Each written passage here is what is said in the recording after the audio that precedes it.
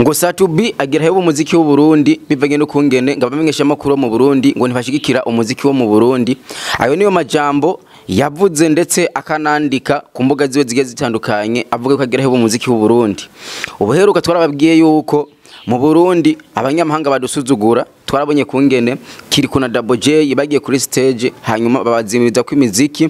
Ariko DJ mu DJ yari karavuza mu gitaramo Kiriko na Double J yari arimwo yavuze yuko Kiriko na Double J bari kumwe n'umufotografi yakara bafotora ngo yaguma mutuka ngo ibitutsi bikomakomeye ariko jengeresha kingaruke ku majambo Satubi yavuze avuga yuko agira hebo umuziki mbega Satubi bishitse gahebo umuziki vyogenda gute? Nuwuhe muririmbyi ushobora kumusuburira? Aho abantu benshi bagiye batandukanye bavyibaza ati ibi bintu Satubi yoba yavuze nivyo cankwe sivyo Satubi yaravuze yuko ngaha mu gihugu cy'u Burundi hari abamenyesha makuru bakomakomeye. Ariko Satubi byaramunaniye kuvuga yuko abamenyesha makuru bashika kuri batanu ashobora kuba azi ku mutwe bashobora kuba bo- bogira ico bafashije umuziki w'u Burundi. Nabo yashimye kuvuga yavuze yuko badashigikira umuziki wo mu Burundi ahubwo bavuza imiziki yo mu mahanga cyane abantu benshi baribaza ati kubera iki ngaha mu Burundi ariho hantu hari amamedia menshi agiye atandukanye ariko abaririmbyi bakaguma bidoga. Abantu benshi tukibaza ati mbega abamenyesha makuru baba bafise inzara y'ivyo bakora bigatuma baja gusaba amafaranga mu mahanga bakayabaha hanyuma mu Burundi ntibabahe amafaranga. Jewe reka ngaruke ku kantu Satubi yavuze ati ngaha mu Burundi umuntu yitwa Simbizi Semavumba ntashigikira umuziki wo mu Burundi asumbwa na wa wundi bakunda kuvuga yuko ngo ari umugore kandi ari umugabo. Aranamwanka cyane ariko novuga yuko Satubi ari umwe mu bantu novuga yuko afise icyo amariye umuziki w'u Burundi ndetse ari mu bantu bateza imbere igihugu abishishije mu muziki wiwe. Imyidogo y'abaririmbyi benshi bagiye batandukanye bashobora kuba bidogera abamenyesha makuru mbega ico kintu nico canke sivyo jewe nako nshaka kugaruka kuri commentaire. Nka jewe nk'umujournaliste nkavuga ati reka shaka commentaire ku byo Satubi yavuze avuga yuko umuziki w'u Burundi abamenyesha makuru batawushigikira. Ariko uko navyumvise navyumvise yuko simbizi semavumba yamuteye ivyatsi kubera atashigikiye Kiriko na Double agashigikira abanyarwanda. Akavuga ko ivyo bari bagiye gukora atari byo nobabwira yuko umunsi Kiriko na Double babirukana kuri stage harabaye abapromota benshi bagiye batandukanye n'abantu b'aba youtuberi bajya hamwe baratelefonana aho audio yamaze umwanya munini bavuga ati mbega ibintu simbizi se mavumba. Ariko aravuga twe ko turi mu mubabaro. Hanyuma nawe tukabona umenga aranezerewe yoba bikuramwo kubera iki? Ashigikira abanyarwanda adashigikiye umuziki w'u Burundi aho onya Novuga yuko abantu benshi byabatangaje. Ari Sat- Satubi yavuze ati jewe ibi bintu simbizi yamavuga sindabishigikira ntashigikira umuziki w'u Burundi ahubwo ndumba ni ho ashigikira umuziki w'u Burundi kubera ashaka abantu ho mu Burundi bave mu Burundi baja mu Rwanda hanyuma amaze kubona babaye benshi ashashigikira umuziki wo mu Rwanda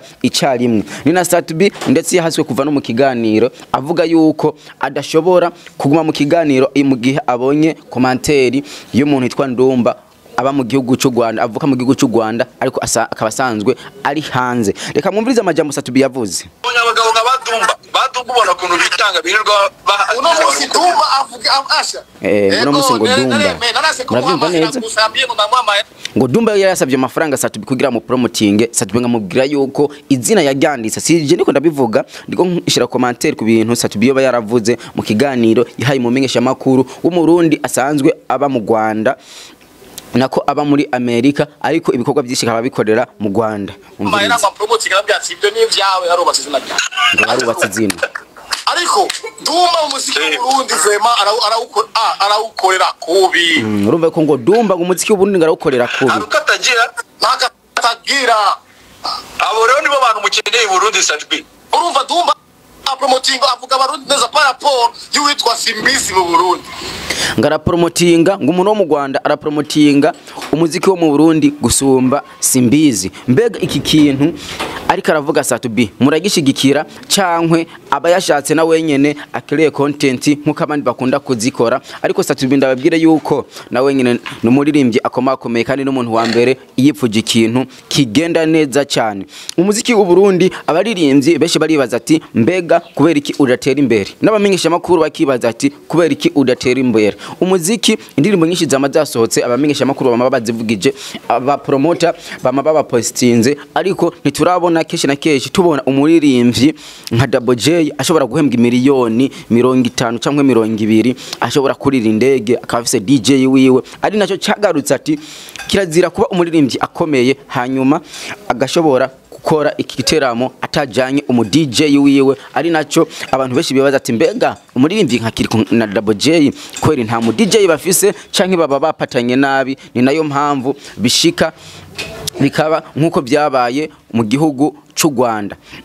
Satubi ibyo yavuze hamwe ndamushyigikira ariko Double J na Kiriku ntibagiye n'indege bagiye n'imodokari kujya mu Rwanda. Ariko ikintu jewe noba nara- narabonye nabonye yuko J na Kiriku barajanye ibimenyesha makuru bishika kuri bitatu ku kibuga c'indege bagiye kwifotoza. Mwibuke yuko hari umuntu yitwa Nyakso kuva mu gihugu cy'u Rwanda yigeze gufungirwa ngaha mu gihugu cy'u Burundi.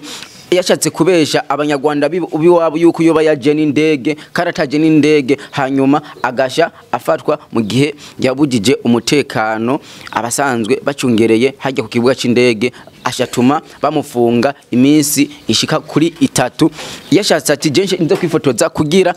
Ejo nsha mbesha abanyarwanda yuko naje n'indege mu gihugu cy'u Burundi. Amajambo yagenda aravuga niyahurirana n'ivyo yasiguye. Ayo makuru twarayarose ariko mu Burundi turakunda abantu baza badushigikira. Mu Burundi turakunda abantu baza kudutemberera kuko tuba mu gihugu cy'amata n'ubuki. Twaravuze ati twebwe mu Burundi turabavyara abarundi n'abanyarwanda nabavyara. Hariho abantu benshi ba- batazi ngo abavyara ni giki. Umuvyara nujya anya dukunda kwitwa binamo ariko abantu benshi ntibabizi. Rero abarundi n'abanyarwanda twebwe turabavyara ariko abantu benshi ntibabizi. Nariyo mpamvu kenshi na kenshi uzokumva dukunda gufyina duf- dufyina n'abanyarwanda. Hanyuma abanyarwanda nabo bakadufyinisha ku kubera turi abavyara ba binamu ku kubera tuvuga ururimi rumwe. Ni na yo mpamvu muzobona kenshi na kenshi ikindi na cyo kishobora kongerwako. Turagenda mu Rwanda bakaduhonda. Bakaza ngaha mu Burundi bakadekona natwe tukabahonda ariko twese kubera turabavyara nta nkuru bari urimwo tuba dutegezwa guku- kuvyaruzanya bivanye no kungene twese turi bamwe. Wewe nka wewe ukurikirana umuziki w'u Burundi ufise iterambere mu muziki w'u Burundi. Ibintu Satubi yashikirije yuko agomba kuzoheba umuziki bigatuma abantu benshi bibaza ati mbega Satubi ahevye umuziki? Woshukora abande vyogenda gute? Na Satubi tukiringanye kuri iki kiganiro yavuze ati hariho abantu bo mu Burundi bahora bakomakomeye bagiye gukorera ibintu byabo hanze ndetse bakaba batanga amadolari menshi ku baririmbyi bo mu mahanga ariko badafasha impano zo mu Burundi. Abantu benshi bakibaza ati mbega bimeze gute umumenyesha makuru umwe yamubajije ati Satubi nta muntu wa mbere akaze nka Harmonize. Ariko mu gihugu cy'u Rwanda ntakundwa ayo niyo majambo umumenyesha makuru yamubwiye ariko arashobora agaruka ko kuri Zuchu aravuga yuko Zuchu ari mu baririmbyi baririmba neza kandi ari muri label ikomeye cyane ya WCB yuko agiye mu Rwanda n'indirimbo ziwe baziraba nko kumenga aje gufyina ntihagitangura umuziki. Satubi arababwira ati nta muntu wa mbere akora media tour mu Rwanda nka Bface. Ariko kugeza umwanya n'isaha ntarigera afatisha nk'uko byari bitegerezwa gukorwa bivanye na media ziwe akunda gukora. Ico onya Satubi yavuze kweri muragishigikiye ariko ndababwira yuko ngaha mu gihugu cy'u Burundi abaririmbyi benshi bakomakomeye. Baramaze kuririmbana n'abanyarwanda ariko ntiturabona umuririmbyi ava mu Rwanda akaza gukorera video ngaha mu Burundi. Na Bface hora twemera yagiye mu Rwanda agiye gukorera agiye gukorana video n'ubundi muririmbyi baririmbanye ataje ngaha mu Burundi. Kandi indirimbo yari y'umunyarwanda bagasha babarihira itike y'indege bagasha bagenda mu Rwanda. Baba bakwiye kuza ngaha mu Burundi nako bagakuta amahoteli ku buryo natwe bagasiga ajya amafaranga tuba twajyanye bashobora kuba bo boturihira ariko kuturihira ntibiba bihagije. Barashobora no kuza ngaha bafashe ihoteli imwe niyo zoba idolari mirongo itanu. Bamaze kuyifata igihugu cy'u Burundi kiba giteye imbere ikora ibibonetse. Nka twebwe abaririmbyi mu Burundi ikintu je no bahanura muzize murakora amakorabo. Iyo babasabye korabo mubabwira ati nta kibazo. Mu- mukemera ijya quality iwabo ariko ukababwira ati Jake umuntu wa mbere neme ni Natasha. Natasha baramusabye kolabo mu gihugu ca Tanzania. Yavuze ati urira indege unsange mu Burundi hanyuma dushobore gukorana.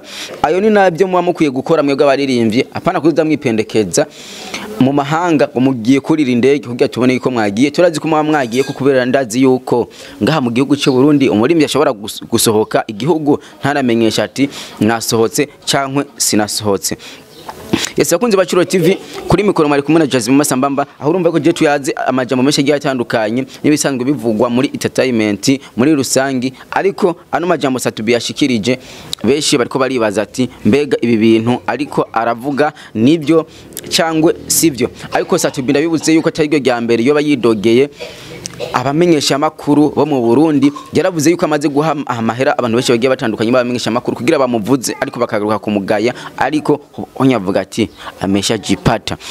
Kuri mikoro mari kumwe na Jasmine Masambamba inyuma ya kamera ni Alexton mubandanye mukana subscribe na comment turabakunda cyane. Bye bye. Twadukenera ikiganiro cyose ubwa mbere na mbere mwanje kukiraba mukimare hanyuma mushyire ko commentaire ko mwacumvise ari ciza mukigaya ari kibi muvuga ati onya ni bo. Mbandanye mukana subscribe na comment turabakunda cyane. Bye bye.